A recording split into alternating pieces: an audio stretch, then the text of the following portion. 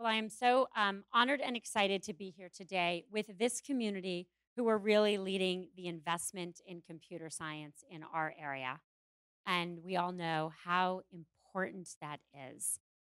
Um, joining Peggy and joining Susan, I'm grateful for your friendship and your leadership. We all are here to make. Feels weird to have this thing. I guess I could put this. I guess I could just put that right in there. You see? The kind of expertise you get when you work in technology. We all know how important this field of study is, both in what computer science gives us in terms of the products we build, the impact the products have in the world, but also opportunity for people. I am just so proud of Hadi and Ali's and the team of code.org. Hadi and Ali have been long term friends of mine, really helped me transition uh, to Silicon Valley. And the work code.org is doing, which is really transforming education and giving millions of students who otherwise would have no access and no exposure to computer science, I really believe can change our country. So, congratulations to both of you and your team for your leadership.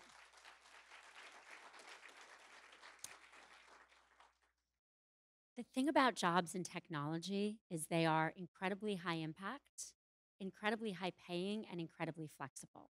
And when you think about what people entering the workforce want, they really want the ability to make a difference. And I think all of us in this room know that there's probably no better field to do that than the field of technology. People also want, in increasingly economic uncertain times, job stability and the ability to know that they can always get a job. And no matter what's happening, really in any economy right now, anywhere in the world, the people who have more than full employment are the people with these technical degrees. Despite all of the concerns about unemployment we have in our economy and so many others, there is a huge gap in unfilled technology jobs, not just here, but all around the world. So, if we're looking for the answer for economic growth, for financial stability, for families, getting more of our children into these fields we know is a huge part of the answer. It's also the case that when I think about what families need, women and men, to be flexible, to have both careers and personal lives, so that women are no longer no longer say to women, you can't do both, something we never say to men. These are always, these are almost always the most flexible jobs you can have. We used to have a joke at Facebook that we, and it's not true anymore, but for many, many years, we had this unbelievable programmer that really no one had ever met because he didn't like to work in the office with other people. But he was unbelievably productive. And for people in this field who are unbelievably productive, the type of flexibility we are willing to offer them and all the companies are willing to offer them shows how you can really integrate both a personal life and a professional life. So, really, on any metric, on anything we care about, whether it's society or opportunity or impact or having jobs or being able to balance work and family, this is an unbelievable field.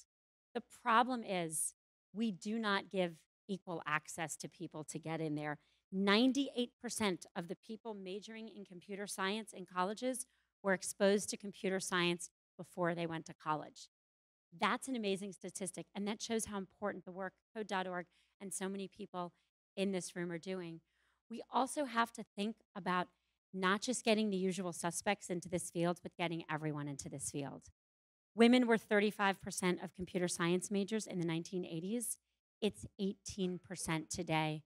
Many years ago, I hosted a summer party for a bunch of the Facebook summer interns, and there were so many boys. It's like eight years ago. And I said to one of them, like, where are all the girls? And he looked up at me and said, there are more Daves than girls in my major in college. And I looked at him, I thought he was joking. He was like, No, no, I counted. There are this many people named Dave and this many girls majoring in computer science at my school. That's a problem, and unfortunately, one we are not making progress against. Same situation for the Black and Hispanic communities. Only 15% of the people majoring in these fields are Black or Hispanic. And so, what we need is equal access to computer science education and to motivate and excite everyone and let them know that this is a field they can excel in. This is a field where they can really achieve. And this is important so that we get to equal representation so that the products we build reflect the diversity, not just of the people who use them, but of the people who build them. This is a really big priority for Facebook. We are putting large investments into funding, into training, support, and jobs.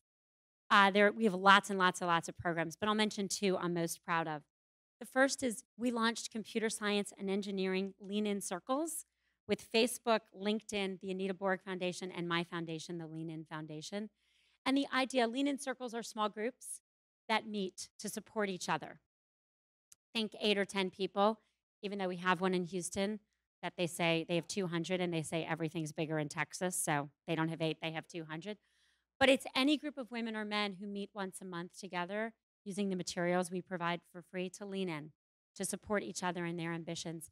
A few years ago, we launched computer science and engineering specific lean in circles to solve the problem for girls that they are surrounded by Daves and not by girls. So if there's only a few girls or one in their computer science class, they're in a group that meets regularly to support them.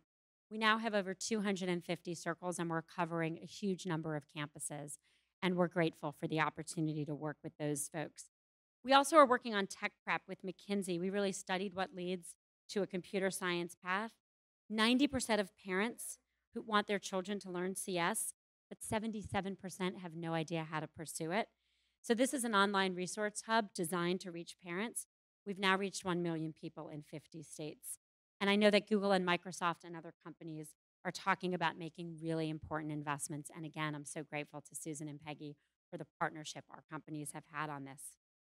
We're at the beginning of our journey, and the opportunity for us to come here and celebrate the people in this community who are leading, who are making computer science accessible and open to the usual suspects. We want everyone, but also to more women and traditionally underrepresented minorities. I'm really grateful. When I think about all the problems we face, and there are real problems right now, I think about what makes me optimistic. And what is core to being a technologist is that we believe that the future will be better than the past. Not perfect, not that technology will solve every problem, not that technology doesn't cause some of the problems. We're realists and we understand all that. But we believe fundamentally deep in our hearts that the power of technology is one that lifts people out of poverty, gives people opportunity, and brings us closer together. And that will continue to happen due to the great work of the people in this room, for which we are super grateful. Thank you.